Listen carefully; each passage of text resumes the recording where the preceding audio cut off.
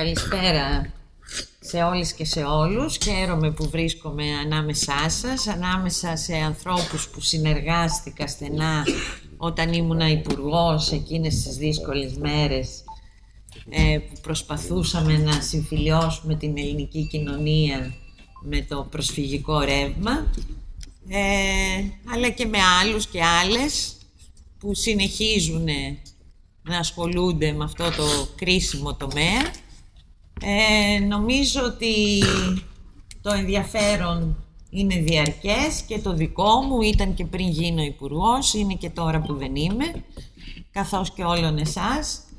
Ε, καλό είναι λοιπόν να αποκρυπτογραφήσουμε τις, τα καινούρια στοιχεία του προσφυγικού ρεύματος. Εγώ θα έλεγα συνοπτικά ότι μπορούμε να πούμε ότι υπάρχει το τέλος της αθωότητας του προσφυγικού ρεύματος, δηλαδή αυτή η συμπόνια, η αλληλεγγύη, η συμπαράσταση, το δόσιμο, ε, ακόμα και η ουδετερότητα ή η αμηχανία που συνόδευσε στην αρχή το προσφυγικό ρεύμα, σιγά σιγά δίνει τη θέση της σε ένα σκεπτικισμό ε, όλη η Ευρώπη αρχίζει να σκέπτεται τι θα απογίνει με αυτούς τους μεγάλους αριθμούς που καταφθάνουν σε όλες τις χώρες της Ευρώπης, πώς θα τους αφομοιώσει, πώς θα τους εντάξει. Και βέβαια ο καινούριος παίκτης που είναι η ISIS δημιουργεί σοβαρές παρενέργειες και νέα ερωτήματα ε, γύρω από το τι θα γίνει αν μέσα από το προσφυγικό μπαίνουν και τρομοκράτες και λοιπά και αλλοιώνουν το τοπίο ή γίνονται προσχηματικά διάφορα ερωτήματα γύρω από αυτό. Έτσι η αθωότητα αρχίζει να, να αλλοιώνεται και εμείς πρέπει να κρατήσουμε εκείνο το κλίμα όσο μπορούμε γιατί ήταν σημαντικό, γιατί ανέδειξε έτσι τουλάχιστον τις ευρωπαϊκές κοινωνίες ε, σε πολύ σημαντικό επίπεδο ευαίσθητες και αυτό δεν πρέπει να χαθεί. Έτσι, ενώ ήταν μια θλιβερή εξαίρεση ο Ορμπάν με το τείχος του, σήμερα βλέπουμε τα Δυτικά Βαλκάνια, η μία χώρα μετά την άλλη να υψώνει τείχη και οι ευρωπαϊκές χώρες να έχουν ως φροντίδα πώς θα κλείσουν και θα φρουρήσουν τα σύνορά τους με νέους τρόπους, ενδεχομένως και με τη βοήθεια ευρωπαϊκών οργανισμών όπως η Frontex κλπ. Άρα είναι κάποια καινούρια δεδομένα που πρέπει να τα δούμε και να τα σκεφτούμε. Παρά τα αυτά όμως ο πρόσφυγας είναι μια φιγούρα που νομίζω ότι κατάφερε ε, να συγκινήσει, κατάφερε να δείξει το πολιτικό της βάρος, γιατί πραγματικά είναι νομικά και πολιτικά μια φιγούρα που δεν είναι μόνιμη, διότι σε όλο τον κόσμο οι πολιτικοί πρόσφυγες, οι πρόσφυγες πολέμου έχουν μία προσωρινή κατάσταση, διότι είτε θα πολιτογραφηθούν κάποια στιγμή, είτε θα επαναπατριστούν. Αυτή η προσωρινότητά τους λοιπόν δημιουργεί και αυτό το μεγαλείο τους, διότι δημιουργούν μια κοινότητα ανθρώπων που έρχεται από το μέλλον ε, διότι αμφισβητεί αυτή τη τριάδα έθνος, κράτος, έδαφος που πάνω σε αυτήν έχουν στηθεί ιδεολογήματα, αντιλήψεις, ε, περιχαρακώσεις και πολλά άλλα. Άρα λοιπόν ο πρόσφυγας ως πρόσωπο με τον όγκο του, με το πάθος του, κυρίως δε με τα ρίσκα του για να αλλάξει τη ζωή του, πιστεύω ότι διαμόρφωσε ένα πράγμα που συγκίνησε όλους γιατί αυτό που ήθελε ήταν να αλλάξει τη ζωή του. Και αυτό δεν μπορεί παρά να συγκινεί όλους τους ανθρώπους που θα ήθελαν να είναι πρόσφυγες μιας νέας ουτοπίας στη δυστοπία που όλοι ζούμε, που πάντα έχει να κάνει με έναν τόπο που τον ορίζουμε όπως θέλει ο καθένας, ε, γιατί δεν του αρέσει, είτε σαν τόπος, είτε σαν περιεχόμενο. Σε κάθε περίπτωση αυτό που μπορούμε να πούμε είναι ότι οι πρόσφυγες ήταν οι πρωταγωνιστές του προσφυγικού ρεύματος. Γιατί ήταν αυτοί που αμφισβήτησαν συνθήκες, αμφισβήτησαν όλα όσα ήταν ιερά και όσια στην Ευρώπη. η συνθήκη Σέγγεν που απαγόρευε τη μεταφορά αλλοδαπών ή τη διέλευση αλλοδαπών τρίτων χωρών χωρίς βίζα ενώ είδαμε χωρίς βίζα να διασχίζουν όλες τις ευρωπαϊκές χώρες χιλιάδες πρόσφυγες τη συνθήκη του Δουβλίνου που όριζε ότι η πρώτη χώρα που πατάει ο πρόσφυγας είναι αρμόδια να εξετάσει το αίτημα ασύλου του και αυτό να μένει στα χαρτιά, διότι ο πρόσφυγας αποφάσιζε πού θέλει άσυλο και δεν τον καθόριζε καμία συνθήκη. Και βεβαίως ο πρόσφυγας καθόριζε όλες τις εξελίξεις και ήταν μια θεαματική στιγμή για την Ευρώπη να έχει ανοιχτά σύνορα και να τα έχει όχι μόνο για τους πρόσφυγες αλλά και για τους μετανάστες. Δεν είχε τεθεί μέχρι πρόσφατα θέμα διαχωρισμού. Φεύγαν όλοι όσοι ήθελαν. Μετανάστες και πρόσφυγες και πήγαιναν όπου ήθελαν. Στη Γερμανία, στη Σουηδία, στο, στη χώρα που ονειρεύονταν, στη χώρα που θεωρούσαν παράδεισο. Αυτό πρέπει να καταλάβουμε ότι ήταν πραγματικά μια εξαίρεση για αυτή την Ευρώπη που είναι ιδιαίτερα σκληρή σε ό,τι έχει να κάνει με δικαιώματα, ε, με τήρηση κάποιων συνθήκων που ήταν πάντα πολύ σκληροί απέναντι σε τέτοια ζητήματα. Και θέλω να πω εδώ ότι η συνθήκη της Γενέβης για τους πρόσφυγες του 1951 έχει μείνει αλόβητη. Πέρασε αλόβητη τους δίδυμους πύργους, κανείς δεν σκέφτηκε να την πειράξει, ούτε και τότε, και ελπίζω να μείνει αλόβητη και από το μακελιό στο Παρίσι. Να μην διανοηθεί κανείς ότι αυτή θα την πειράξει και θα την αναστείλει ούτε κατά ένα άρθρο για να εμποδίσει μήπως μέσα από τους πρόσφυγες περάσει και κανένας τσιχαντιστής. Αυτό λοιπόν το τοπίο που ζήσαμε και νομίζω ότι πρέπει να είμαστε πολύ ευτυχείς γιατί γίναμε μάρτυρες μιας τέτοιας μεγάλης μετακίνησης που έδειχνε ότι η Ευρώπη ήταν μια παλιά Ευρώπη της υποδοχής, της αλληλεγγύης, όπου οι κυβερνήσεις δεν μπορούσαν να κάνουν τίποτα, διότι από τις ενοχές που είχαν για τον πόλεμο στη Συρία, τις υποχρέωνε να είναι έτσι όπως ήταν. Αυτό τέλειωσε. Τέλειωσε και διαμορφώνεται ένα νέο σκηνικό. Αυτό λοιπόν το σκηνικό που διαμορφώνεται πρέπει λίγο να το αναλύσουμε και να δούμε τι περιθώρια έχουμε και τι μπορούμε να κάνουμε. Αυτά τα κομβικά σημεία του νέου σκηνικού λοιπόν μπορούμε να πούμε χοντρικά ότι είναι τα σύνορα και ο έλεγχός τους, ο διαχωρισμός που εγκαινιάστηκε στη βάση μετανάστης πρόσφυγας αλλά και με συνέπεια ότι αυτός που είναι μετανάστης δεν θα περνάει στην Ευρώπη και επίσης θα επαναπροωθείται άμεσα. Εξού και η, το αίτημα για να αναθερμανθεί, να αναζωπηρωθεί η σύμβαση επαναπρόθεσης Ελλάδας-Τουρκίας, ώστε να γυρίζουν πίσω άμεσα αυτοί που ήρθαν από Τουρκία στην Ελλάδα ή που ήρθαν διαχρονικά και θα τους στείλουν πίσω οι χώρες που τους έχουν ήδη δεχτεί για να φύγουν από εμάς προς Τουρκία. Λοιπόν, εδώ υπάρχει ένα ερώτημα. Είναι δυνατόν να γίνει αυτός ο διαχωρισμός; λεπτά. Α, κατάλαβα. Λοιπόν, ε, είναι δυνατόν να γίνει αυτός ο διαχωρισμός ε, και να είναι ασφαλής; Καταρχήν πρέπει να πούμε το εξής. Ότι για να γίνει επαναπρόθεση θα πρέπει αυτός που μπαίνει και να μην έχει ζητήσει άσυλο. Αυτό είναι ο υπαριθμόν ένας όρος. Αν ζητήσει ο αλλοδαπός τρίτης χώρας, εισερχόμενος στο στην οποιαδήποτε χώρα άσυλο, θα πρέπει να περιμένει η χώρα να απαντήσει αν δικαιούται άσυλο ή διεθνούς προστασίας. Μέχρι να απαντήσει μια χώρα αν δικαιούται ο αλλοδαπός άσυλο ή διεθνούς προστασίας, απαγορεύεται να τον επαναπροωθήσει.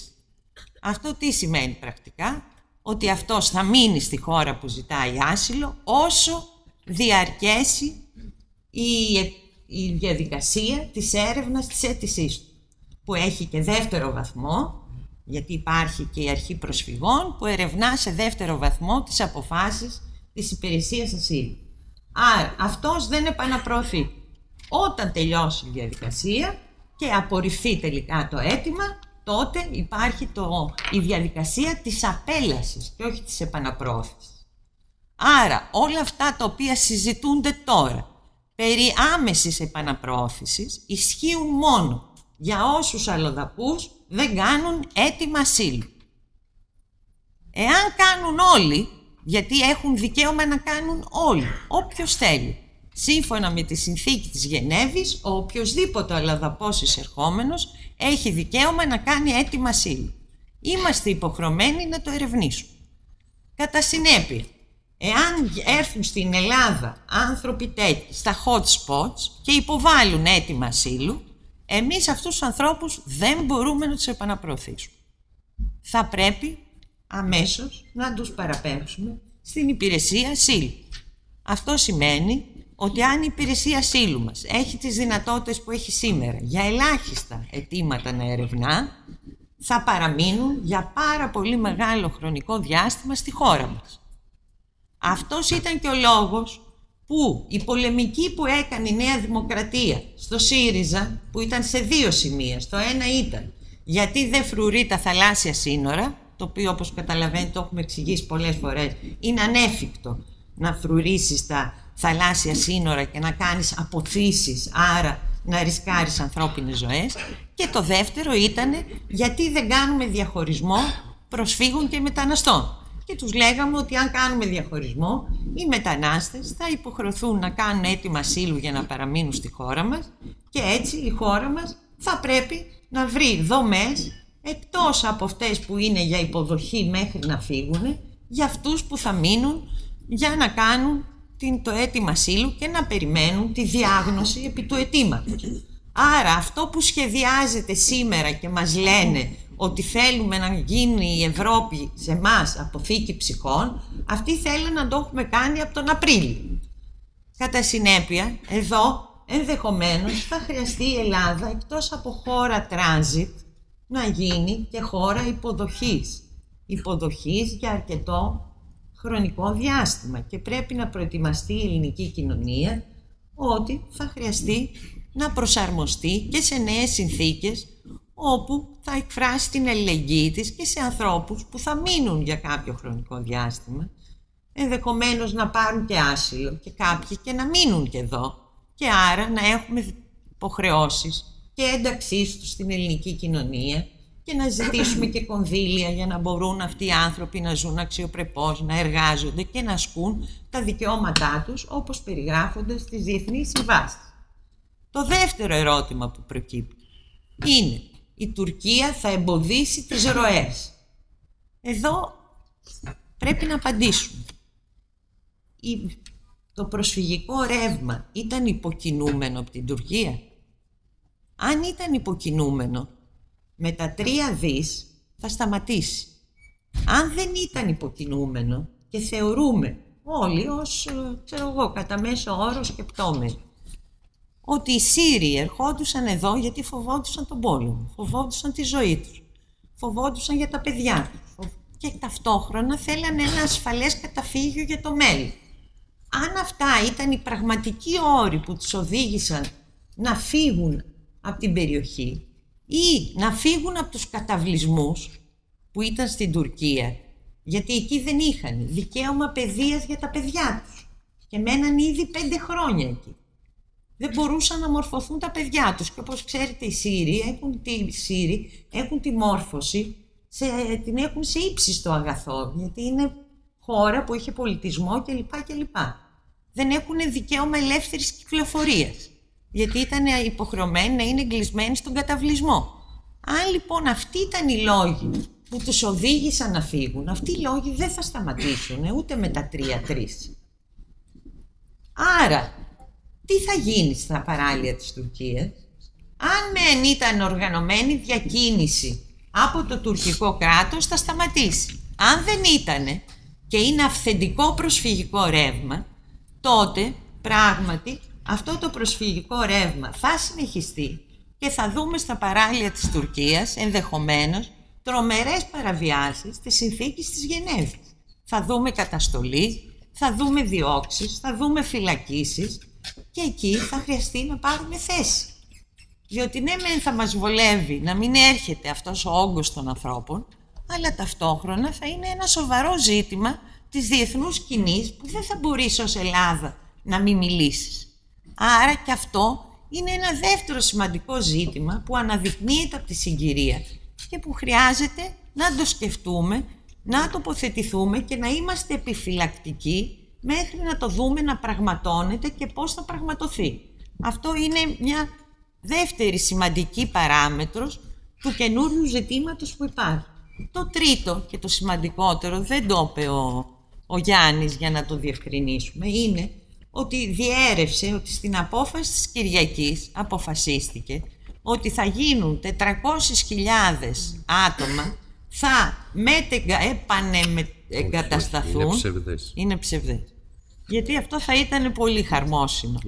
400.000 θα επανεγκατασταθούν από την Τουρκία κατευθείαν στις χώρες της Ευρώπης, που σημαίνει ότι θα επανεγκατασταθούν με ασφάλεια, χωρίς να μεσολαβήσουν ούτε θάλασσες, ούτε βουνά, ούτε διακινητές, ούτε κανείς. Και αυτό θα ήταν πραγματικά ήταν ένα αίτημα που σαν Ελλάδα το παλεύουμε από τότε που είμαστε στην κυβέρνηση. Λέει ο Γιάννης ότι είναι ψευδές. Εν πάση περιπτώσει, αυτό δεν το διέψευσε κανείς, το ακούσαμε στις ειδήσεις ότι υπόθηκε στη μήνυ σύσκεψη που προηγήθηκε της μεγάλης σύσκεψης των 27. Είναι σημαντικό, εμείς επιμένουμε σε αυτό και είναι σημαντικό γιατί ο μόνος δρόμος για την ασφαλή μετάβαση, διότι η μετάβαση είναι σκληρή όχι μόνο στη θάλασσα, είναι και στην ξηρά. Αυτά τα οποία γίνονται σε όλες τις χώρες μέχρι να φτάσει ο πρόσφυγας στον τελικό του προορισμό, οι βιασμοί, οι πωλήσεις των γυναικών, των παιδιών, μεταξύ διαφόρων διακινητών, είναι πολύ σκληρά πράγματα αυτά που συμβαίνουν.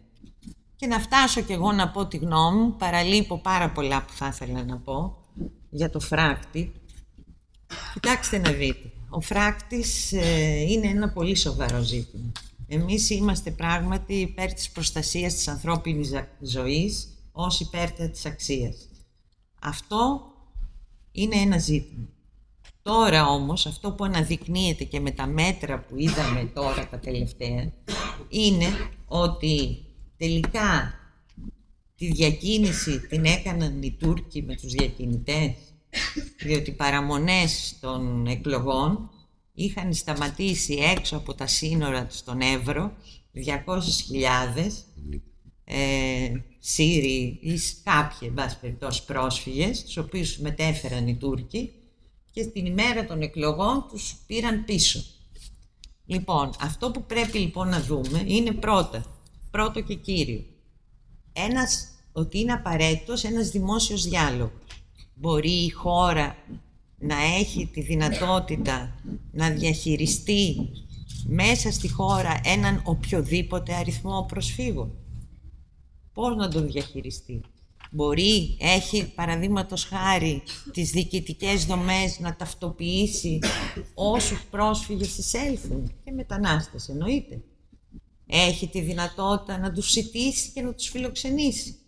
Έχει τη δυνατότητα να εξασφαλίσει κοινωνικές συμμαχίες για ανεκτικότητα και αλληλεγγύη, όπως είχε το προηγούμενο διάστημα.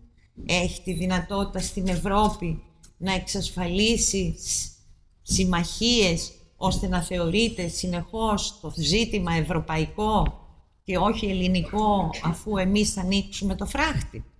Έχει τη δυνατότητα η Ελλάδα με τον οποιοδήποτε αριθμό που θα εισέλθει αν ανοίξουμε το τείχος να εξασφαλίσει ότι δεν θα φουντώσουν οι ρατσιστικές και ακροδεξιές φωνές. Αφού ήδη μας πολεμάνε για αυτονόητα πράγματα που κάναμε, πόσο μάλλον για μια τέτοια διαδικασία. Και τώρα που γίνεται αυτή η ρύθμιση με την Τουρκία, που αλλάζει το τοπίο, τι ακριβώς και πού εντάσσεται το τείχος; Και θέλετε το λέω αυτό όχι τόσο γιατί το τμήμα δικαιωμάτων λέει αυτά, αλλά γιατί έχουμε μια αντιπαλότητα μέσα στην αριστερά απέναντι στο ΣΥΡΙΖΑ, η οποία είναι όψιμη μάλιστα, δεν υπήρχε πριν, τώρα έγινε, για τη θέση μας που εξέφρασε η κυβέρνηση για το φράχτη. Μέχρι του σημείου μάλιστα που σύντροφοι με τους οποίους είχαμε απόλυτη ταύτιση στο προσφυγικό αρνήθηκαν να έρθουν ομιλητές σε αυτή τη συγκέντρωση. Αυτό μας ανησυχεί πάρα πολύ. Όχι μήπως απομονωθούμε φυσικά, αλλά μας ανησυχεί γιατί τα τείχη και οι διαχωρισμοί μέσα στο κίνημα τίθενται από αλλού. Και μάλιστα σε μια στιγμή που το προσφυγικό περνάει μια κρίσιμη καμπή. Και αυτό είναι για μας το μείζον. Όμως παράλληλα θεωρούμε ότι είναι μεγάλη ευκαιρία γιατί πολλές φορές, ξέρετε, όταν μιλάμε για κινήματα ταυτίζουμε τους εαυτούς μας με τα υποκείμενα των κινημάτων. Μήπως είναι ευκαιρία να πούμε ότι δεν είμαστε εμείς το κίνημα; Δεν είμαστε ούτε πρόσφυγες ούτε μετανάστες. Άλλοι είναι τα υποκείμενα των κινημάτων. Είναι οι πρόσφυγες και οι μετανάστες. Αυτοί ξέρουν τι τους συμφέρει και τι χρειάζεται να γίνει. Αν λοιπόν δεν είμαστε εμείς τα υποκείμενα, μήπως πρέπει να αποφασίσουμε τι ακριβώς κάνουμε εμείς; Για ποιο λόγο υπάρχουμε, σε τι πρέπει να βοηθήσουμε; Και αν αποφασίσουμε τι ακριβώς θέλουμε και σε τι πρέπει να βοηθήσουμε, θα βρούμε και τις αντίστοιχες συμμαχίες. Μέχρι τότε λοιπόν, εμείς μετράμε απουσίες, συνεχίζουμε αυτό τον αγώνα για να είμαστε αποτελεσματικοί και νομίζω ότι αυτή η κρίσιμη φάση την οποία ζούμε, αυτή τη στιγμή με το προσφυγικό, όπου μπαίνουν τόσοι ανεξέλεγκτοι παίκτες μέσα για να το εκτρέψουν από εκεί που ήταν, θα δημιουργήσουμε τους όρους για να ξαναεπανέλθει στην παλιά του κήτη και να δούμε τον πρόσφυγα πραγματικά ως αυτό που είναι, ως ένα δυναμικό στοιχείο μιας νέας εποχής που αυτό που χρειάζεται είναι να ξαναγυρίσει στην πατρίδα του, δεν θέλει τις πατρίδες των άλλων, αυτό είναι δεδομένο, αλλά όμως διεκδικεί να αλλάξει τη ζωή του και να σταματήσει ο πόλεμος. Και αυτό είναι για μας το συνεκτικό στοιχείο. Σας ευχαριστώ.